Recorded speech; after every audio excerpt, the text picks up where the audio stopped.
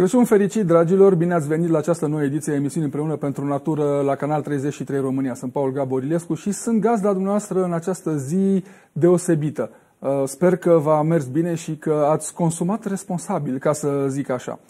Um, astăzi o să vorbim, uh, poate puțin uh, pentru cei care își pregătesc strategia de cumpărare a brazilor pentru la anul, Uh, ce trebuie să știți despre brazii de Crăciun, uh, cum și ce se întâmplă cu ei după sărbători și uh, că acum știm, brazii mai supraviețuiesc în ei, dar în schimb sunt unele forme vii care au patru picioare și o coadă așa și care nu, nu mai rezistă, ei nu trec cu bine aceste sărbători.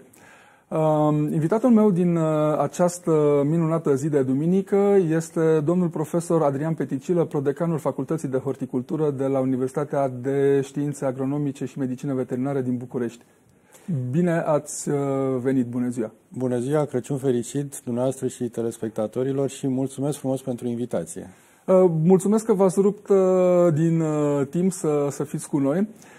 Vreau să vă întreb, aveam o, un papirus așa lung cu întrebări, dar uh, o să încep cu cum a fost anul ăsta pentru voi ca și facultate de horticultură, ca și fabrică de oameni, ca și, uh, uh, ca și instituție, ca și colectiv și ce, ce ați realizat din ce v-ați propus? Cum a fost?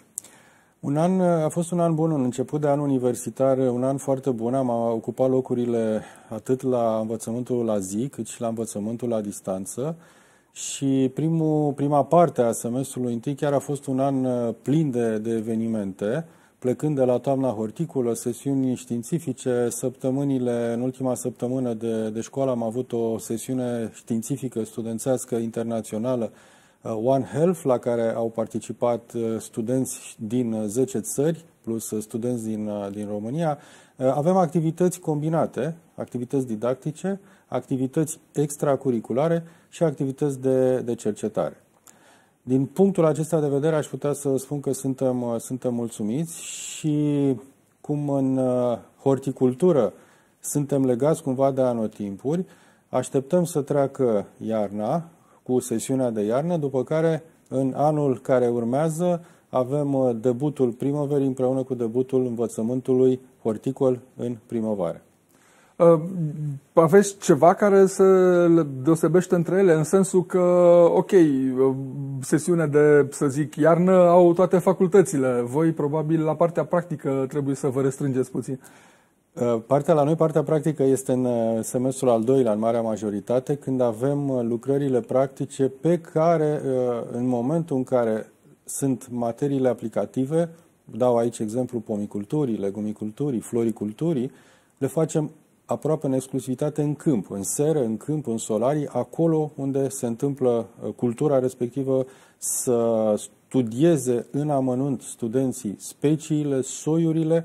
În perioada asta, mi-am adus acum aminte cu plăcere, avem uh, o oarecare perioadă în care vedem ce am făcut în anii anteriori, respectiv avem fructele din depozit pe care colegii mei în anul 4 uh, le prezintă studenților la materiile în care studiază soiurile. Și putem spune aici că sunt vreo 3 sau 4 săptămâni când anul 4, la materia de uh, pomologie, studiază soiurile de mere și fac degustări, cam 3, 4, 5, 6 soiuri de mere pe ședință, văzând uh, caracterele organoleptice, culoare, structură și așa mai departe.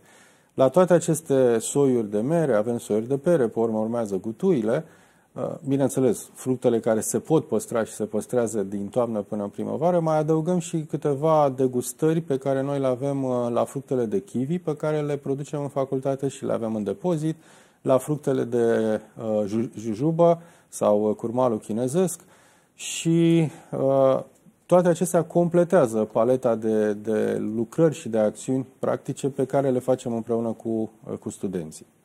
Uh, puteți să-mi trimiteți un share location, o locație exactă a depozitului ăsta și cifrul de la lacătul cu care închideți acolo, că pare foarte, foarte interesant ce, ce aveți acolo în acest depozit.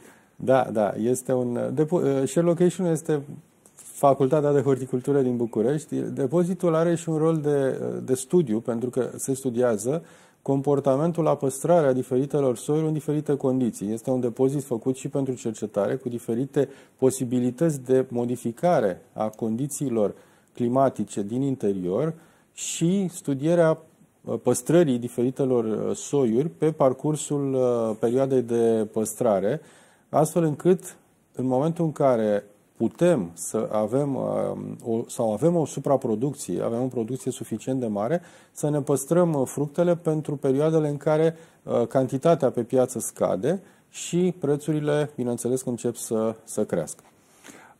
Cu alte cuvinte, orice fruct uh, care a avut, să zic așa, șansa sau oportunitatea în existența lui să nu devină vin, țuică sau altă băutură alcoolică sau nealcoolică, uh, poate fi păstrat mai mult sau mai puțin în, funcțiile de condițiile, în funcție de condițiile de păstrare. Uh, da, oarecum spunem, există fructe perisabile și aici ne gândim dacă vreți să începem cu căpșuni, ismeuri, mur, care au o perioadă de păstrare limitată, chiar în cele mai bune condiții de temperatură și umiditate și concentrație de CO2, fructele perisabile de regulă se recoltează și se consumă într-un timp scurt de ordinul zilelor, după care vin aceste fructe climacterice care pot să fie recoltate în perioada de înainte de maturitate. Și aici dau exemplu fructului de kiwi pe care toată lumea îl cunoaștem din fericire existând suficiente cantități în magazine pe toată perioada anului, e bine, fructul de kiwi este un fruct care se poate recolta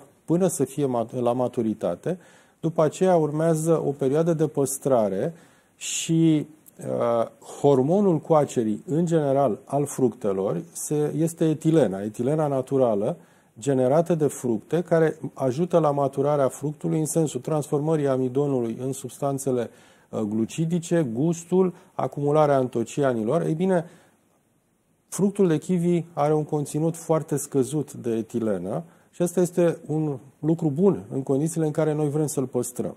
În condiții de depozit, am uh, dau exemplu acestui fruct, se poate păstra până la 3, 4, 5 luni chiar, fără deteriorarea calităților uh, gustative. Mergând mai departe, cumpărând din magazin fructe de kiwi, trebuie să știm că dacă sunt tari și foarte tari, atunci ele nu uh, sunt, nu că nu sunt bune de consum, sunt foarte acide, nu sunt maturate. Uh, consumul unui fruct de kiwi trebuie să se întâmple exact ca un ou moale să poată fi mâncat cu lingurița. Ca să ajungem în faza aceasta, fructele pe care le cumpărăm din uh, magazin, este bine să le ținem împreună cu mere, pere, gutui, nu neapărat în pungă, ci lângă aceste fructe care au o cantitate mai mare de etilenă pe care o degaje în exterior, la care imediat fructele de uh, kiwi prind această etilenă și încep și ele să se uh, matureze.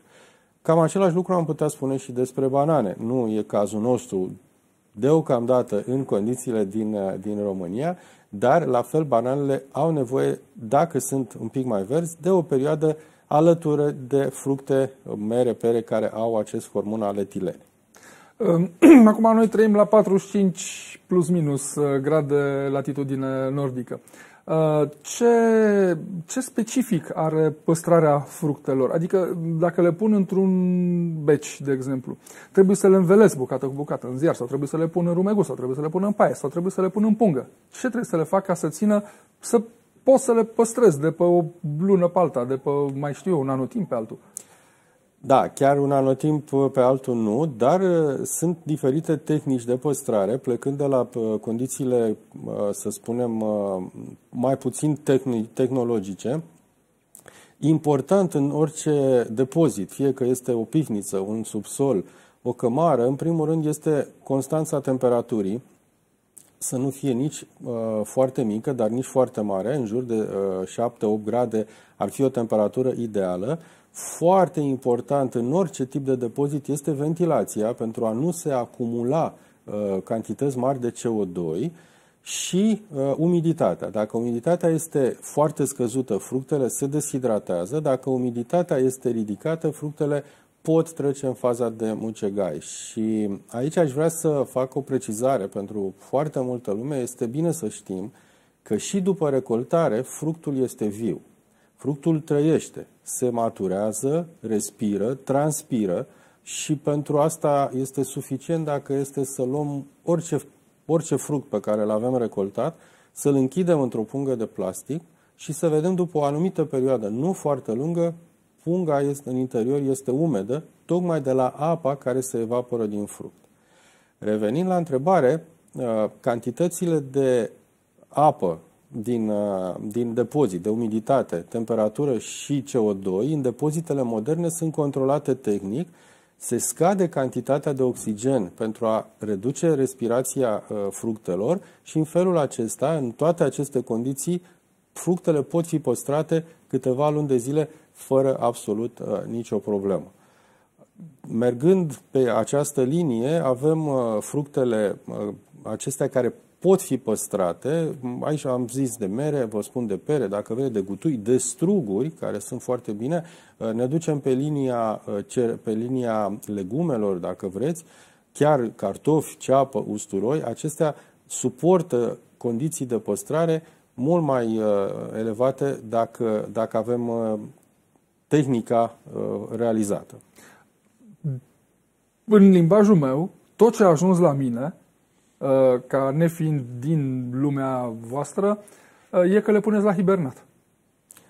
Putem spune și acest lucru, le punem la hibernat să le avem peste, uh, peste iarnă. De fapt, dacă stăm să ne gândim exact cum vorbim de zona noastră de 45 de grade, e bine, avem patru anotimpuri și bunicii, străbunicii, străstrăbunicii noștri erau cumva obligați, neexistând uh, acest sistem modern de alimentație, de a găsi în fiecare zi, 365 uh, de zile pe an, fructele pe care ni le dorim, fie de la noi din țară, fie din alte țări, ei erau obligați să-și păstreze de toamna până în uh, primăvară cantități suficiente de fructe și de legume ca să, se, să le folosească în alimentație și să nu uităm că fructele sunt o sursă de vitamine care ajută corpul în perioada rece să depășească uh, impedimentele iernilor care, să nu uităm, erau ierni mult mai aspre decât cele pe care le avem noi acum, cel puțin în climatul nostru din, uh, din România.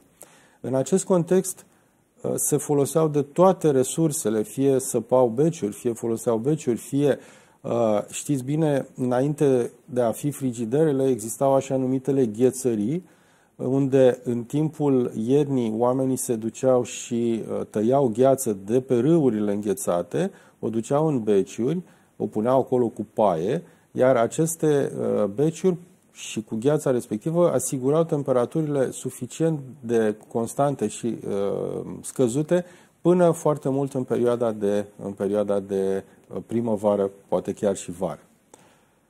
O altă modalitate de păstrare, nu neapărat de hibernare, să nu uităm, uh, sunt murăturile, care nu sunt neapărat specifice doar țării noastre, dar care sunt iarăși o, moda, o modalitate de păstrare a fructelor, de ce nu, și a legumelor, de condiționare prin uh, metodele clasice de a, a face murături, având foarte mari beneficii asupra uh, sănătății, consumate fiind cu moderație, e adevărat, împreună cu alimentația tradițională pe care o cunoaștem de cu toții, mai ales în această perioadă a sărbătorilor de, de iarnă. Uh, zâmbesc. Uh, în urmă cu câteva săptămâni am fost în, uh, în Grecia și era și cred că încă mai este plină perioadă de cules măslinii și uh, am fost într-o fabrică de, de făcut ulei de măsline și e ok, tehnologie, adică nu mai e, să vezi ceva din ce se întâmplă acolo, le pui într-o parte și scoți uh, uleiul în cealaltă parte. Însă am, uh, eu am trecut prin experiența asta, să zic așa, dureroasă. Uh, și am zis suriei uh, mezinei noastre să guste dintr-o măslină. care era înainte de... E practic e o murare ceea ce se da. întâmplă cu măslinele acelea până să le mâncăm noi, să le cumpărăm. E, și era teribil de amară. Deci așa ceva, cred că următorul aliment i-a trebuit după jumătate de zi. da, măslinele sunt, au, au parte de un tratament cumva special, să zicem, tratament între ghilimele. Procesul de obținerea uleiului este unul foarte interesant și relativ zic eu că este nou pentru noi, pentru că nu avem culturi de măslin. inclusiv partea de obținere a măslinelor pentru consum este, este interesantă, astfel încât exact dacă cineva se duce cu poftă la un măslin și vrea să mănânce două, trei măsline, nu este ca și cum te duce cu aceeași poftă la un prun și să iei două, trei prune uh, maturate și să le mănânci cu, cu poftă. Astfel încât uh, chiar primul impact este, este un pic uh, neplăcut, gustul amar al măslinelor nematurate și nemurate într-un fel, cum, care e tehnologia lor. Uh, cu alte cuvinte, acum noi avem un specific și specificul ăla e că dacă eu văd un măr pe marginea drumului și mai ales dacă, n-are, dacă nu e dincolo de un gard, se întâmplă să mă opresc mașina să mă duc să-mi iau un măr. Deci măslinele au un sistem natural de antifurt? da, poate putem, putem să ne gândim și așa, e adevărat.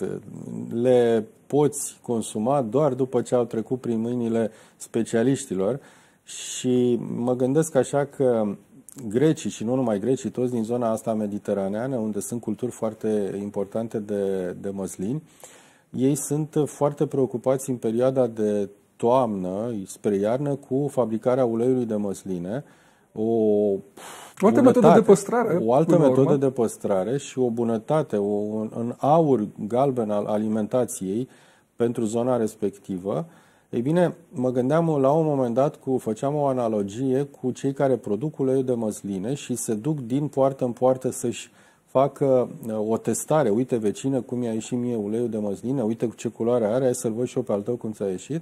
În condițiile în care, în aceeași perioadă, în uh, mare parte din zona noastră din uh, țară, se fabrică produsul care se obține prin distilarea prunelor, care se cheamă țuică și pălincă.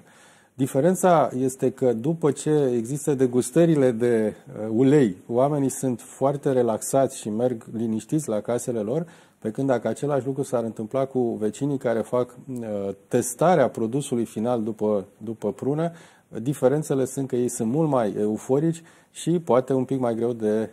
Uh, de mai puțin previzibil. Previzibil în ceea ce înseamnă, da tot ce Asta a fost un argument pentru uleiul de măsline, bănuiesc. Și pentru uleiul de măsline, dar uh, să nu uităm că sunt suficiente studii care arată că țuica noastră clasică, obținută din prunele noastre, prin procesul de, uh, de fermentare și de maturare a prunelor în, de, în uh, vase și prin distilare, are cantități suficiente de substanțe utile pe care care ajută organismul în anumite, în anumite afecțiuni. Dar totul consumat nu cu moderație, cu foarte mare moderație, poate cantitățile um, să fie de ze- ordinul zecilor de mililitri cu uh, recomandările de rigoare, adică nu mult, ci de calitate.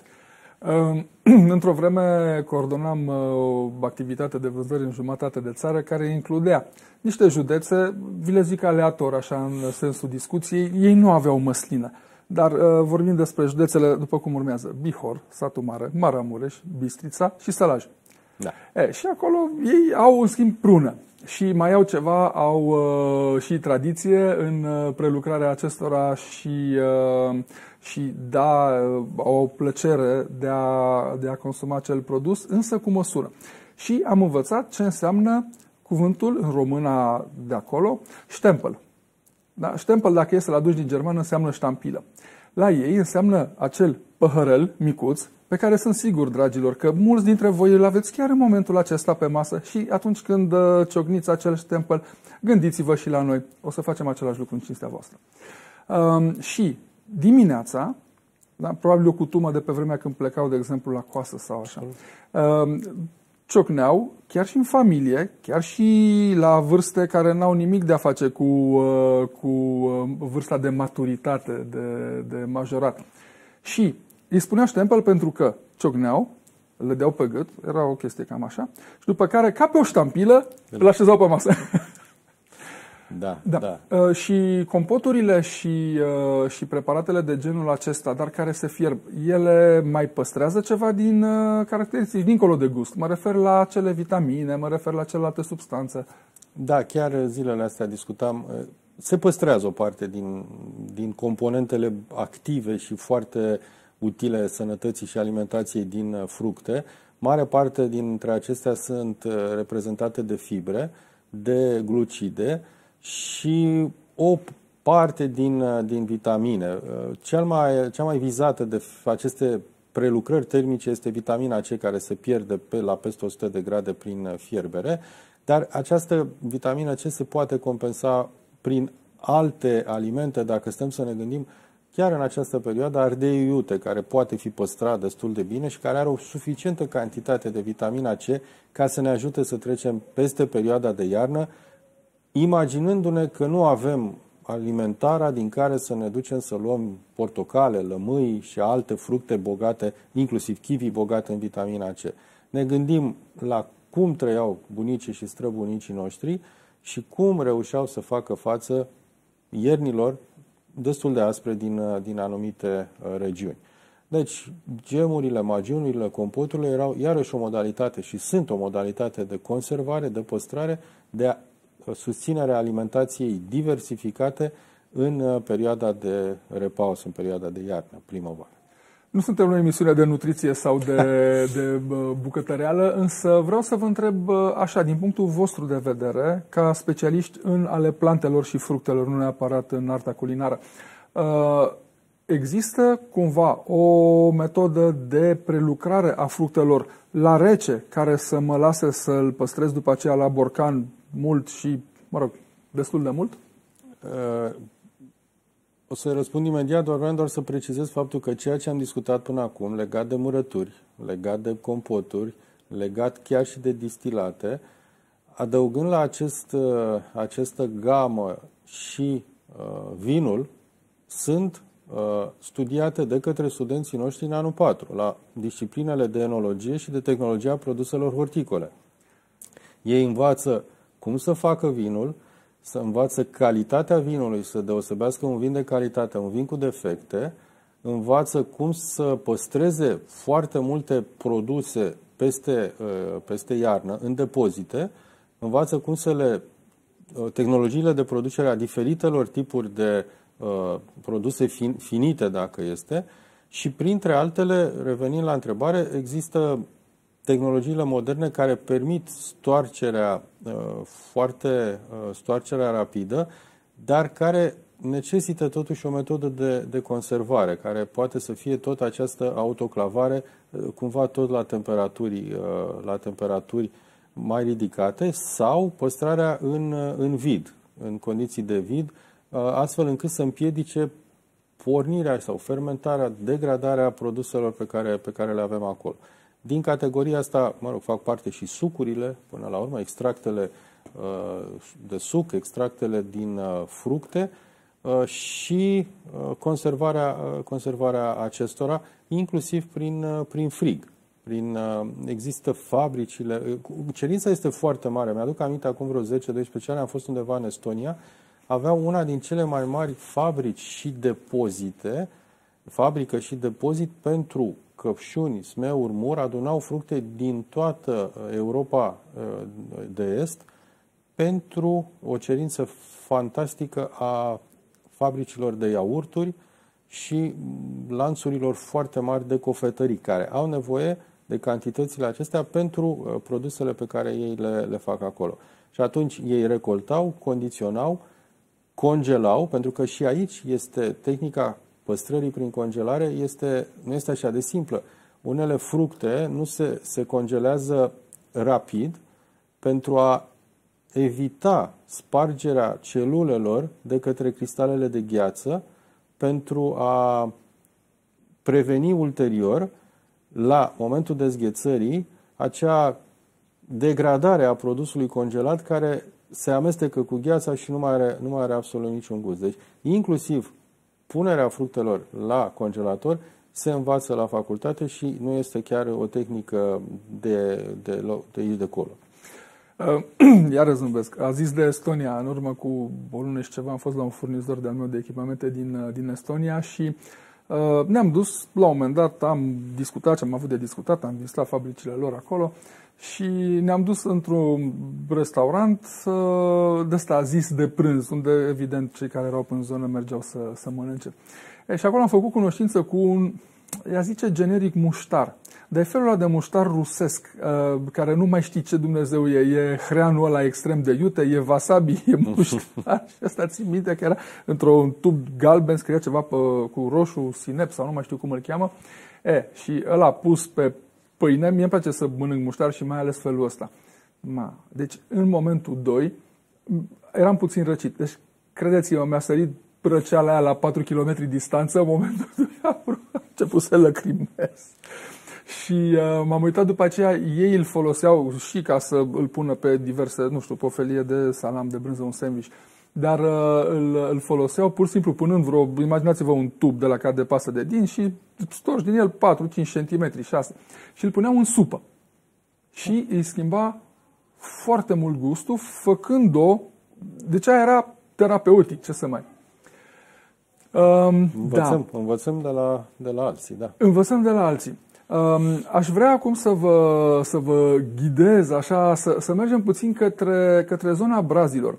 Am avut tot felul de discuții, odată cu celebra discuție că tăiați pădurile patriei la care au venit uh, colegii noastre de la Romsilva și au zis, mă, băieți, noi tăiem pădurile patriei, dar ele de aia sunt făcute, sunt ca un fel de recoltă, dar nu este greu să-l tai odată pe an, este o pădure pe care o tai odată la 80 de ani și mai multe petece, mai multe păduri, e o continuitate și de aia aveți mobilă tot timpul dacă mergeți la magazine.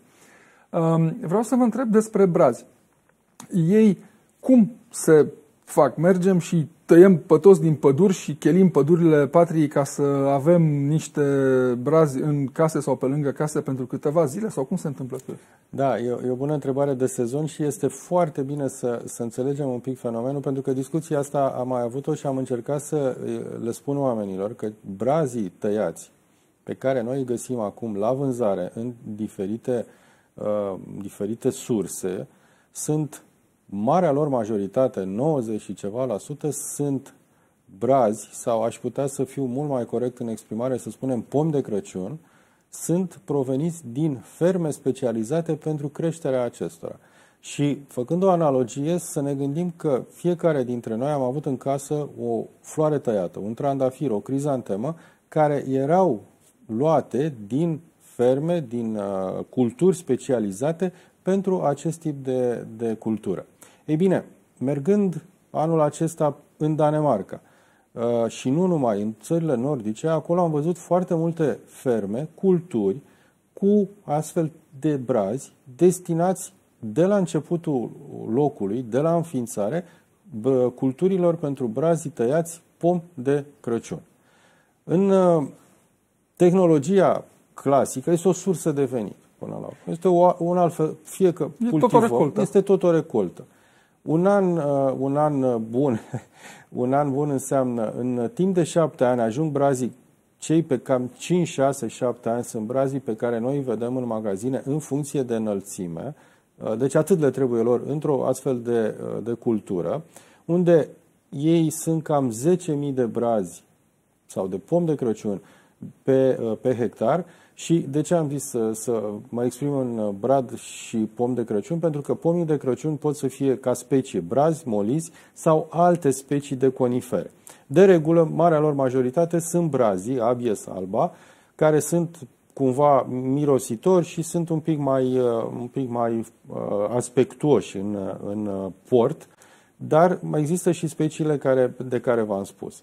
E bine, revenind la aceste culturi, culturile de brazi tăiate sunt cele pe care le, le înființăm în anumite areale de către specialiști, cum ar fi colegii noștri de la Rom Silva, știind sigur că peste 5 ani, 6 ani vor fi tăiați și vor merge în altă, la, la vânzare, urmând ca acolo să se reînființeze o altă cultură de brazi, de pom de Crăciun pentru a fi, pentru a fi tăiați.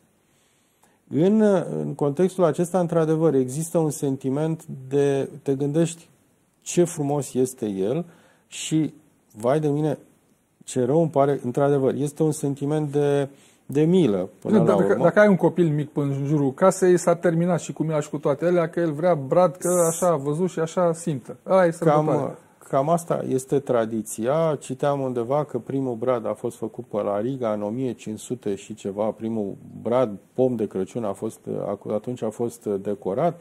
De atunci au fost tot felul de dispute și religioase, de unde a apărut tradiția și așa mai departe. Cert este că în ultimii 100-100 și ceva uh, de ani avem această tradiție în zona noastră pentru a avea în casă un brad, un pom de Crăciun pe care să-l împodobim, la care să vină Moș Crăciun cu darurile și familia să se strângă în jurul bradului de Crăciun și la gura, la gura sobei, alături de un uh, ștrempăl de, de țuică și un pahar de vin. Și o felie de pâine cu ulei de măslină. Așa, așa, să fim un pic uh, internațional pe Europa. Uh, la un moment dat, în Europa uh, se taie undeva în jur de 10 milioane de pom de Crăciun pe, uh, pe an, dintr-o statistică a anului 2018-2019. În România, în anul acesta, sunt în jur de 31.000 de pom de Crăciun care sunt livrați de către Lom Silva, oficial, din care cam 75% sunt din aceste ferme pentru brazi, pentru pomi de Crăciun, cu destinație specială și 25% provin din aceste tăieri de regenerare de care spuneați un pic mai, mai înainte, tăierea bradului sau tăierea pomilor de Crăciun din păduri, făcându-se rărirea acestora. Nu se taie la întâmplare. Sunt tăiați cei mai subțiri, cei care nu au viitor în condițiile pădurii respective, iar aici amenajamentele pe care le fac colegii noștri de la silvicultură sunt literă de lege pentru ceea ce urmează să se, să se recolteze. Uh, dacă între aceste două tipuri de pom de Crăciun, din fermă și din amenajamente, există și o altă categorie, mai mult sau mai puțin legală, de uh, livrarea brazilor, pomilor de Crăciun. Să zicem empirică. Să zicem empirică, atunci lucrurile țin de, de alte competențe. Noi trebuie să ne gândim la acest, la acest aspect ei vin dintr-o cultură destinată acestei, uh, cu acest scop. Se recoltează din timp, se ambalează din timp, se livrează și se transportă.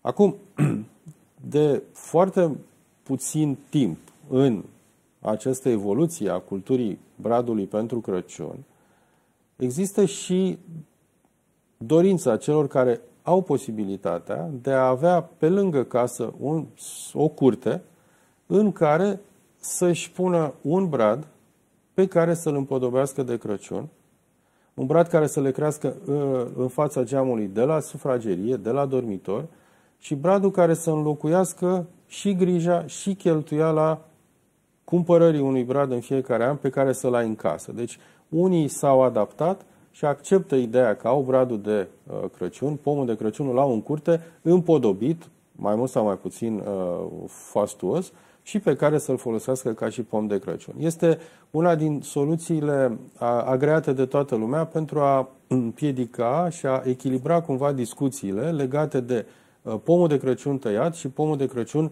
artificial, pentru că este o altă variantă. Pomii de Crăciun artificiali din diferite materiale de plastic sau legate, înrudite între ele, care oricum provin din industria chimică, respectiv petrol, sunt varianta optimă aleasă iarăși de destul de multă lume, uh, mulțumindu-se să scape de grija uh, procurării unui pom de Crăciun peste, uh, peste, înainte de sărbători, când, apropo, fac o mică paranteză, în condițiile în care acum noi discutăm de consumuri și de amprentă de carbon, respectiv consumul pe care noi îl avem uh, și generarea de carbon, de fapt, uh, odată cu diferitele activități pe care le facem, statistica spune că în luna decembrie este cea mai mare generare de carbon tocmai din cauza, și spun din cauza și nu datorită, uh, alergării după cadouri, consumului care crește, excursiilor care sunt uh, direct proporționale și știm foarte bine din media ce uh, avalanșe de mașini pleacă din diferite direcții, justificat de altfel, dar pe ansamblu generarea de CO2 crește cam cu 6-8% la nivel mondial, uh, spunea statistica, lucru care ar trebui să ne dea cumva un pic de gândit.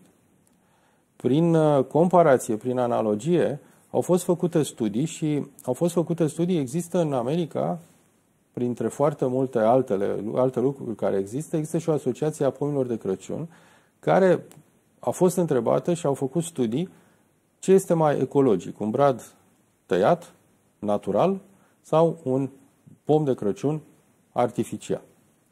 Ei bine, uh, balanța, pot să vă spun și nu vreau să fiu acuzat de părtinire, balanța a înclinat la un moment dat înspre uh, brazii naturali. Și aici, Pentru că ei nu consumă, nu, uh, nu, nu sunt chimie. Ei nu sunt chimie și s-a ajuns la concluzia fabricarea unui brad artificial cu plastic, petrol, există un grad mare de poluare pentru a-l face, pentru a-l fabrica, timpul pe care ar trebui, timpul minim pe care ar trebui să-l utilizăm ar fi de peste șase ani ca să-și uh, regleze, part, nu vorbim de partea financiară, vorbim de partea ecologică, impactul asupra mediului. Deci dacă luăm un brad artificial, să ne gândim minim șase ani să-l folosim ca să depășim poluarea uh, față de un uh, brad, un brad natural. Ei bine, urmează apoi ce se întâmplă cu bradul artificial după ce este uh, folosit. Devine în sensul deșeu. după ce nu ne mai place. Este o parte care este un deșeu de plastic, care dacă ar fi să-l lăsăm în natură, durează sute de ani să se degradeze. Dacă îl ducem la uh, deșeuri, acolo procesul de degradare este în cuptoare specială și așa mai departe. Astea sunt lucruri obiective pe care încercăm să le, uh, cumva să le neutralizăm gândindu-ne dacă ne putem face un brad artificial, dar din altceva, din diferite lucruri reciclabile și știm bine că imaginația este foarte bogată și din, în acest context am văzut foarte mulți brazi făcuți din, uh, eu știu, din diferite alte materiale care sunt materiale reciclabile. Mai nou acum vedeam uh, foarte frumos un brad făcut din cărți, care mă rog, poate să sugereze forma de brad și care să ne ajute uh, să depășim momentul respectiv.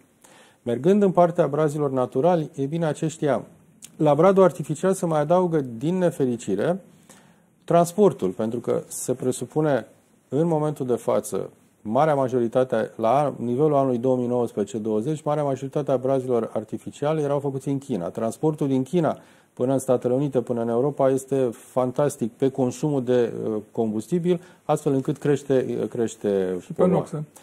Pe noxe. Bun. Revenind la brazii naturale, aceștia au și ei minusurile lor în sensul că există o cheltuială cu înființarea, există o cheltuială cu oarecare irigare dacă am nevoie și cu defrișarea lor, iar transportul este un transport, dar este pe distanțe mult mai mici. Asociația aceea americană a pomilor de Crăciun spunea foarte clar că în America brazii, fermele astea de brazi la nivelul unui an pot da de lucru undeva până la până 100 de mii de, de locuri de muncă, lucru care este foarte bun zonal vorbind. Uh, defrișarea brazilor uh, înseamnă automat plantarea altor brazi. Uh, lucru care este foarte, foarte bun și foarte căutat. Deci aș putea spune totuși, cu argumentele pe care le-am, le-am adus, că balanța ar trebui să încline înspre un brad natural, obținut legal, dintr-o crescut într-o fermă specializată pentru pom de Crăciun, cu uh, avantajul, încă un avantaj al uh, pomului de Crăciun natural este acela că amprenta de carbon respectiv absorbe CO2-ul pe cei 5-7 ani pe care îi petrece în, uh, pepinie, în ferma respectivă, lucru care este dorit de către noi pentru reducerea cantității de CO2 din, uh, din atmosferă. Odată ce, ce bag un brad în casă, el își continuă viața. O să vă întreb, următoarea întrebare va fi to be or not to be, to ghiveci sau nu ghiveci. Dar acum, am tăiat un brad, l-am cumpărat de la magazin, legal, cu ștampilă, forme, l-am adus acasă, legal, pe mașină, cu sfoară și l-am pus în suportul lui.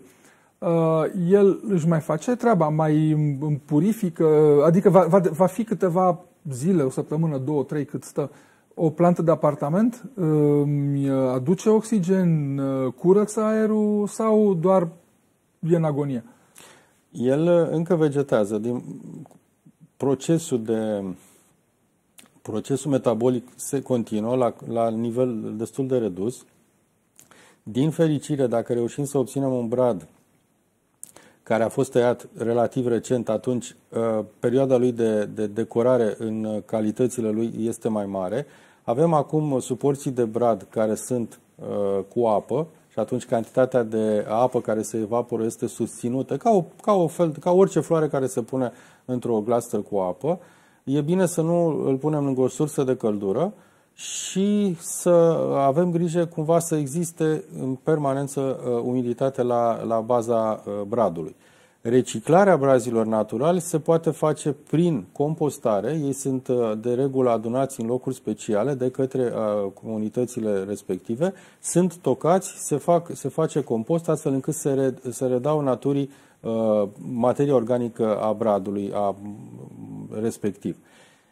Mergând mai departe, alături de, de brazii respectivi sunt brazii la ghivece, care se poartă acum și pentru asta chiar uh, există foarte mulți doritori.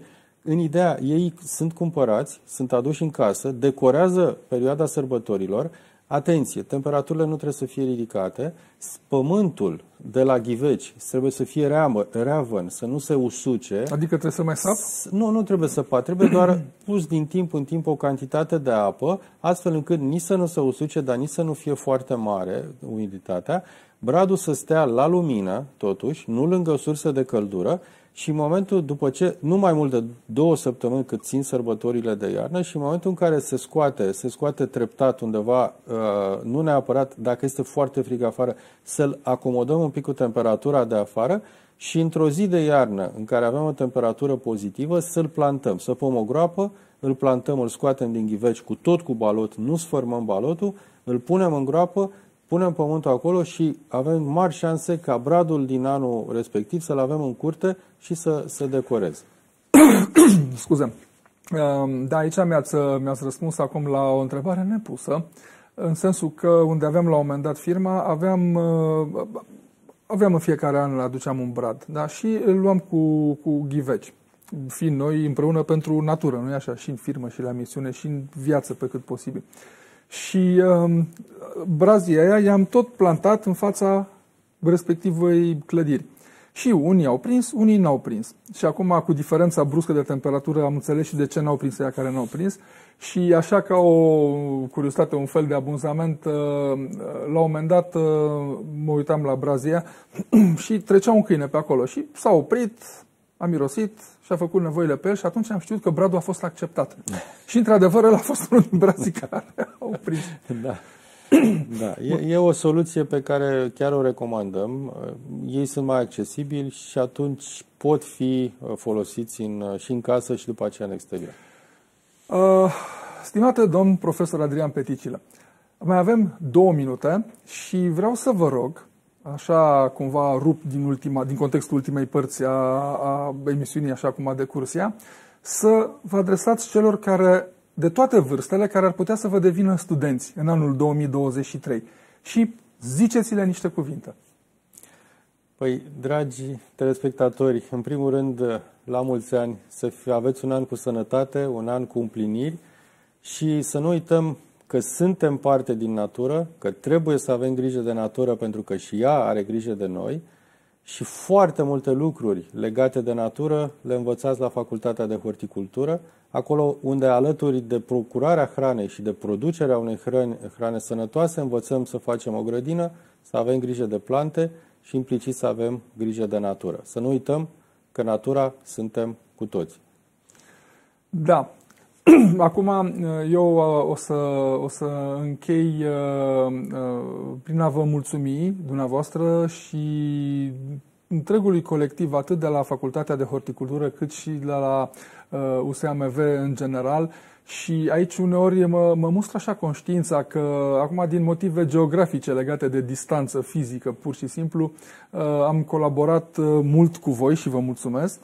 Și uh, da, să știți că mai sunt uh, universități de științe agricole și medicină veterinară și în alte orașe din țară și vă invit pe cei care nu sunteți neapărat pe lângă București, uh, căutați-le și vedeți, sunt foarte multe informații și foarte frumoase lucruri care se petrec acolo. Vă mulțumesc încă o dată dumneavoastră și colegilor pentru toată susținerea și toată munca asta împreună pe care am făcut-o și pentru ale noastre și pentru ale voastre peste an.